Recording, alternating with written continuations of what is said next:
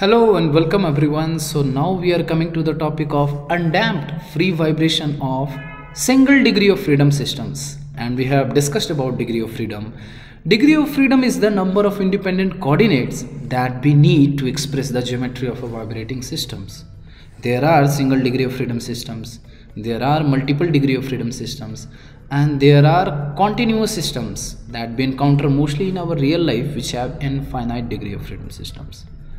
So let us uh, keep the subject matter right now simple by taking only single degree of freedom system in consideration. So we have understood about the vibrations, elements of vibration, properties of vibrations. So vibration is also of two types. One is free vibration and other is forced vibration. As the name suggests, free vibration means there is no external forces acting upon the vibrating system the vibrating elastic system is vibrating only on account of its inherent forces. Inherent forces can be because of initial excitation or inertial forces or restoring forces from the spring and as such there is no external force. We can write F external is 0 okay at any time t okay. So this is the uh, definition of free vibration so as such if we see there are mostly forced vibrations okay? If we want to continue vibration in a system we have to apply some external forces either through a motor or by some mechanism. So those vibrations where there is external force present to keep the system vibrating they are called forced vibration. And uh, on them there is continuous application of a force ft always there. All right. So let us try to discuss undamped free vibration. Now free vibration you have understood. What is undamped? So as we have discussed that in the course of vibration we call friction or the uh, or some viscosity or drag by the term damping. So undamped means what during vibration there is no loss of energy on account of friction or viscosity or drag which we call here by the term damping. So that's why undamped free vibration are those vibrations in which there is no application of external forces. Ft is equal to 0 and there is no loss of energy due to any damping. Okay. So this becomes undamped free vibrations so here we are going to do the vibration analysis undamped free vibration analysis of those systems which have only single degree of freedom. One independent coordinate only. It's very simple to understand but yet we have to follow the procedures here. So under these conditions the motion of the system is governed only by the influence of the initial condition. As i said some initial excitation is given to a block or a system. So we may give the initial excitation in the form of some displacement from the mean position or we may impart some velocity at time t equal to 0. So that becomes the source of vibration in this case of free vibration okay because there is no external force how will the system start vibrating we have to give some displacement or some velocity at time t equal to 0 and single degree of freedom system are vibrating system which require only one degree independent coordinate to define their geometry at any instant of time.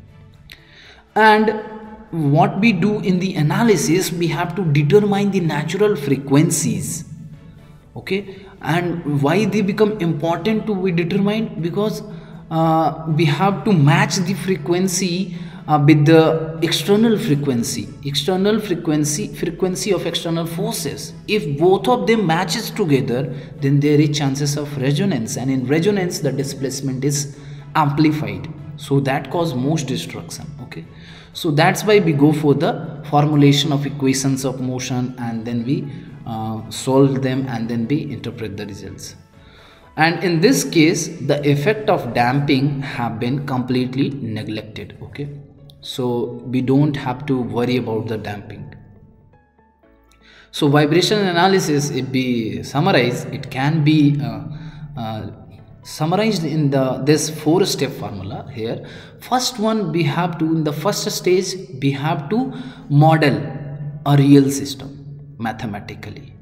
So first of all a real system a real system is the system that exists in our real life okay? And it is also called as prototype okay so when uh, we see a dam like uh, any dam tehri dam so when you look at the dam, that is the real system, real structure, and we call it also as a prototype. Prototype are the system that is exactly existing in the system outside real world, and then we make a model of that prototype uh, similar to all the dimensions and situations in our lab. So that is the model, and model size is uh, much much more uh, smaller than the exactly prototype okay? So everywhere we make the models okay? So we can make a model of dam in our lab also and perform the experiments and see the uh, observations and interpret the results okay? So similarly the first step here is also modeling of a real system mathematically. And then there is a formulation of governing equations in the second stage.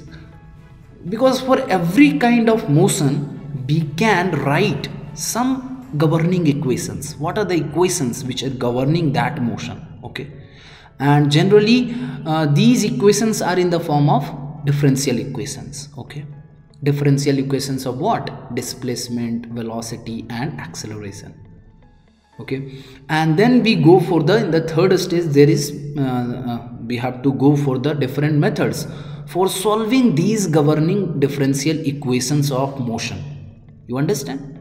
Now we are going to the solution part of those uh, GDE governing differential equations. And at the last stage we interpret those results. Okay? So this is the four simple steps in vibration analysis so if we uh, try to understand them clearly in the first stage mathematically modeling we try to determine the nature of the system, its features, aspects, and the components involved in the real system, and we model it simply on the paper mathematically. And then in the second stage, we try to formulate governing equations. Okay, this is done after modeling, and here different differential equations that govern the behavior of the vibrating systems are obtained by using uh, different uh, methods. And there are different methods uh, which are uh, you must have studied in the law of mechanics. And now we are studying dynamics. So i hope you must have studied newton's second law of motion and principle of conservation of energy in the mechanics. But of course this principle we will study in dynamics d'Alembert's principle. Okay for formulation of uh, governing equations of motion. And in the third stage after writing down all those equations now we are going for the solution of governing equations okay? So there are different methods for solving those ordinary linear differential equations and they are generally of second order. Why second order? Because acceleration is represented here by x double dot. x double dot means d2x upon dt square. And velocity is represented as x dot. It is written as dx upon dt similarly there is displacement which is exactly represented as x. Okay? So there are uh, uh, differential equations of second order only mostly. So the, what are the different methods for finding the solution of those governing differential equations? So there are basically four methods okay? And the methods are listed here as ordinary differential equation. Now this uh, method you must have studied in the mathematics how to solve the differential equations by taking a general a general solution and particular solution okay this you must have studied. And then there are methods like matrix method finite element method numerical method. Let us see how much we do it. And after getting the solution the last stage is interpretation of results. Here the solution of all the equation of motion for the real physical system uh, are interpreted. And by that we can determine the displacement velocity and acceleration of different masses also if there are multiple degree of freedom at any time t. So it includes drawings and curves of the masses in, uh, at any time t uh, while they are vibrating okay?